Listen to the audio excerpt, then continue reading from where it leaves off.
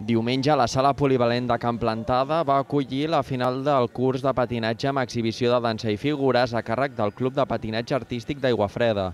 Una exhibició que va comptar amb la participació de diferents entitats esportives del Vallès Oriental, però especialment de la comarca d'Osona.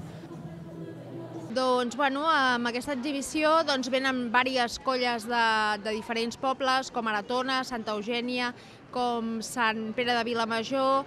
L'esdeveniment va comptar amb nombrosos espectacles individuals i col·lectius de nens i nenes de diferents categories que van cridar l'atenció del públic. Amb una que es tracta, bueno, que és com si fossis una bruixa i, i ja està. Els dilluns una i els dimecres dos. Primer fem patinatge i llavors dansa.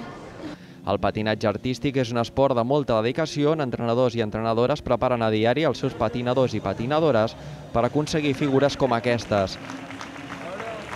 Eh, una mica de tot veurem àngels, salt del 3, depèn de quins balls, perquè hi ha alguns que són de diferent nivell.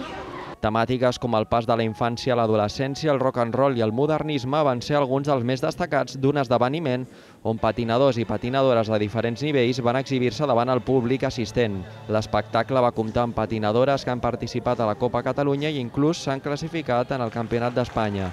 La festa del patinatge ha deixat constància del nivell i dedicació que ofereix Catalunya en aquest esport.